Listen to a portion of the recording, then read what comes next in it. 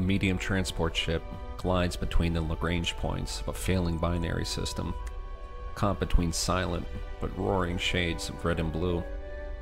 Hard, utilitarian angles form the front of the craft, with bold, thick lines sweeping over the top to meet at two towering bridge points.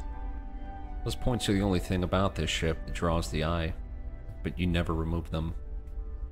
You like the impression the structure leaves on you, and the shadow it casts, like that of a lone sentinel. The engines are purpose built to force up well from the pull of an enormous, incredibly dense prison planet named Megalox Beta. A prison famous for needing nothing more than the threat of a step outside of its artificial gravity field to keep its charges in line. Each side of the vessel bulges out, pregnant with cells for transporting inmates and visitors alike to a space station that was just in orbit, powering that field. The ship itself was easy enough to obtain. Once the planet's gravity field was disabled by the so called resistance, anyone who cared where it might go simply crumpled into the ground.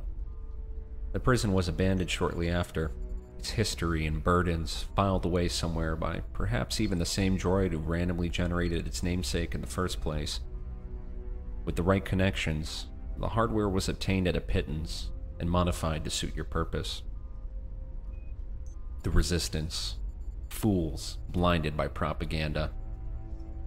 Anyone who knew the meaning of the word would be fighting to restore law and order back to this corrupt galaxy, fighting to bring balance between those who eat and are eaten.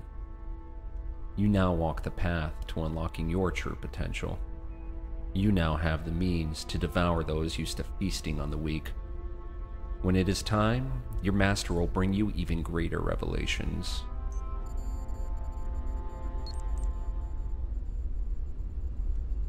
The interior is stripped down to the fundamentals, which suits you just fine. Exilian life usually lends itself to an unconscious drive for more, a need to step squarely on the nearest face to boost oneself up to gain just a little more purchase out on the edge of a souring dream. If you were ever fueled by that drive, you never noticed it. Your goals were simple, timeless in those days. The thought brings an unbidden flash of a silverback Wookiee, cracking into what only a friend would know as a smile. A deeper part of your mind brings forth the piercing scent of Sansana spice, rhapsody, and burnt sienna, paired with the warmth of an embrace. The diffused glow of neon, warped and reflected by a large pair of eyes that threaten to envelop you totally.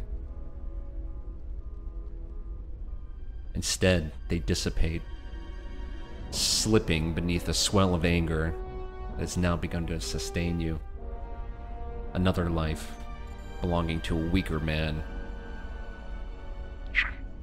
Message received. Our mutual friend will no doubt be satisfied.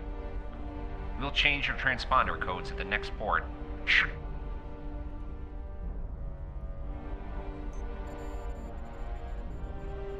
In the cockpit, a twinkling blue pulsar reflects off of the one ornate touch allowed a long, curved string of Beskar vertebrae.